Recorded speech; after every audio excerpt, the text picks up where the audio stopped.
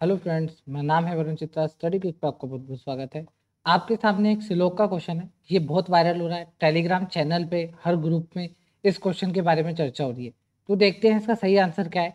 अड्डा to four seven का ये क्वेश्चन है, इनके द्वारा जो आंसर दिया गया है, वो आंसर दिया गया है टू जो कि बिल्कुल गलत है। इसका आंसर ओनली टू कभी भी नहीं होगा। इसका सही आंसर क्या है, वो मैं आपको इस वीडियो में बताऊँगा। चलिए देखते हैं इसका कंसेप्ट क्या है, क्या लॉजिक लग रहा है इसके अंदर। तो सबसे पहले अपन सिंपली स्टेटमेंट पढ़ेंगे। क्या लिखा है? Only a few A are B तो पहले स्टेटमेंट से मैं ऐसा कह सकता हूँ, कुछ ए ही बी है। तो मैं ऐसा कह सकता हूँ, ये वाला जो भाग है ए का, ये बी नहीं होगा। ओनली अ फ्यू वाले में अपन ऐसी कंडीशन बनाते हैं, कोई भी एक छोटा सा डोट बी में नहीं जा सकता। क्योंकि उसने कहा ओनली अ फ्यू ए सिर्फ़ ए का कुछ ही भाग भी है। तो कुछ में सारा ले लेते हैं, इस वाला छोड़ देते हैं अपन। ठीक है? ऐसा अपन सपोज़ कर लेते हैं। ठीक है? आगे क्या कह रहा है? ऑल बी आर सी मतलब ये जो पूरा बी है, ये जो पूरा बी है, ये सी है, ठीक है, मैंने लिख लिया। आगे क्या कह रहा है? नो बी इज़ डी ये जो बी है, ये डी नहीं है तो मैं ऐसे यहाँ पे लिख के इसको क्रॉस कर देता हूँ, ठीक है? इतना सबको क्लियर है। अब कंक्लूजन वन पे चलते हैं। अब देखिए, सबसे पहले तो आपको पता होना चाहिए वन और टू में अगर आप चेक करोगे तो आपका आइदर और जितने भी लोग इस यहाँ पे आइदर और लगा रहे हैं इसका आंसर जितने भी लोग लगा रहे हैं, आप ये देखो आइदर और बनता किस किसमें? आइधर और बनता है, एक कंक्लूजन में तो लिखा हो सम और दूसरे कंक्लूजन में आपके पास लिखा हो सम नोट एक तो आइधर और आपका ऐसे बन जाता है। दूसरा केस क्या है? दूसरा केस ऐसे है, एक जगह लिखा हो सम दूसरी जगह लिखा हो नो एक तो आपका ऐसे बन जाता है। ठीक है, और भी इसके केसेस होते हैं। अभी जो हमारा मेन मोटिव है, वो है ऑप्शन नंबर सेकंड कैसे गलत? तो आपको पता है आइदर और कैसे बनता है? एक जगह सम हो सम नोट हो। मतलब एक जगह पॉजिटिव हो, एक जगह नेगेटिव हो। ठीक है, तभी बनता है। अब देखो, आपने इसमें पढ़ा, यहाँ पे भी नोट लिखा हुआ है, यहाँ पे भी नोट लिखा हुआ है। कैसे भाई आइदर और कैसे हो जाएगा? तो इसका मतलब ये है ऑप्शन नंबर थर्ड तो बिल्कुल भी नहीं है। अब देखिए, जो बच्चे ऑप्शन नंबर सेकंड बोल रहे हैं, सही है। उनका आंसर कैसे गलत है, मैं अब वो प्रूव करता हूँ। अब देखिए, आपने यहाँ पे पढ़ा सम ए इज़ नोट सी कुछ ए सी नहीं है। अब आप देखिए, मेरी बात सुनिए।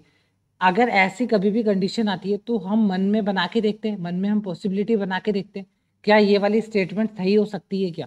हम इसकी पॉसिबिलिटी बनाते हैं, ठीक है? उसने कहा, कुछ ए सी नहीं है। अब आप देखो ए का जो डायरेक्ट रिलेशन है सी से, क्या वो गिवन है? क्या ए का डायरेक्ट रिलेशन सी से गिवन है? नहीं गिवन है ना? तो हम यहाँ पे कैसे कह सकते हैं, ये जो ए का सम पार्ट है, वो सी नहीं है, जबकि डायरेक्ट रिलेशन ही नहीं है। एक बार मैं मान लेता हूँ आपने मान लिया सम इज़ नोट सी। आप ऐसा कह रहे हो, ये वाला जो पार्ट है, ये वाला, हो सकता है आपके माइंड में आ रहा हो, ये वाला जो पार्ट है, ये सी में नहीं जाएगा। क्यों नहीं जाएगा? मैं अभी प्रूफ करता हूँ। देखो, मैंने यहाँ पे लिखा ए अब मैं ये आपको प्रूफ करना बता रहा हूँ, ठीक है? इस वाले को प्रूफ करने के लिए हमारे को मन में जो अपन सोचते हैं ना कि कैसे सही नहीं होगा, वो मैं आपको बताने जा रहा हूँ। उसने क्या कहा था? Only a few A is B तो मैंने only a few A is B बना दिया, ठीक है? ये वाला पार्ट बी में नहीं जाएगा। अब देखो, उसने कहा सम ए इज़ नॉट सी अगर मैं ए को भी सी के अंदर ले लूँ, अगर मैं ए को भी सी के अंदर ले लूँ तो क्या ये गलत माना जाएगा? बिल्कुल भी गलत नहीं माना जाएगा, क्योंकि उसने खुद नहीं कहा है ऑल बी आर सी तो मैंने बी को तो ऑलरेडी सी में ले लिया, अब मैंने ए को भी ले लिया, किसी ने मुझे रोका ही नहीं। कोई ऐसी कंडीशन यहाँ पे स्टेटमेंट में नहीं है, जो मुझे रोक सके कि मैं पूरा ए सी में नहीं ले सकता। तो इसका मतलब ये है ए सी में पूरा जा सकता है इसका मतलब हम कभी भी नहीं कह सकते कि ए का कुछ भाग सी नहीं होगा। अगर हम इसको पॉसिबिलिटी में बनाएँगे तो ये बन जाएगा। इसका मतलब हमारा आंसर हो जाएगा ना तो ए ना तो बी मतलब ऑप्शन वन भी इसका आंसर नहीं होगा ऑप्शन नंबर टू भी इसका आंसर नहीं होगा। इसका सही आंसर होगा neither conclusion work non conclusion second इसका आंसर होगा नाइदर ये बहुत ही कंफ्यूजन से लोग हैं। आप इसको अच्छे से बिल्कुल बेसिक से समझिए। आप पॉसिबिलिटी बनाइए। क्योंकि ऐसे कभी भी क्वेश्चन आते हैं तो अपन पॉसिबिलिटी रख के देखते हैं। क्या वो वाला पार्ट अपन पूरा अंदर ले जा सकते हैं? बिल्कुल ले जा सकते हैं। सी के अंदर में पूरा ही ले गया। और ये वाला भी केस वो लेट नहीं हुआ। ये जो इन्होंने वन स्टेटमेंट में दिया था। ठीक है? तो ऐसे आप इसको करिए। ठीक है? तो आपको पता चल गया। यहाँ पर हमारा ये जो सेकेंड था, ये हमारा आंसर नहीं होगा। हमारा आंसर हो जाएगा ऑप्शन नंबर फोर। एक बार फ़र्स्ट भी बता देता हूँ। जैसे हम ए के बारे में नहीं कह सकते कि सम ए इज़ नोट सी तो हम ऐसे ही सी के बारे में भी नहीं कह सकते कि सी का कुछ भाग ए में नहीं जाएगा। क्योंकि मैं इसको ऐसे भी तो लिख सकता हूँ। चलिए, इसका एक बार मैं आपको बताता हूँ। इसका अपन कैसे लिख सकते हैं? सम सी इज़ नोट ए अब वो कह रहा है सम सी इज़ नोट ए तो मैं ऐसा कह सकता हूँ ए यहाँ पे मैंने बनाया, ठीक है? उसके बाद मैंने यहाँ पे बी बनाया, ठीक है? अब उसने कहा ओनली या फ्यू ए आर बी। तो ये मैंने बना दिया यहाँ पर। इतना सबको समझ में आ रहा है जैसा पहले बनाया था।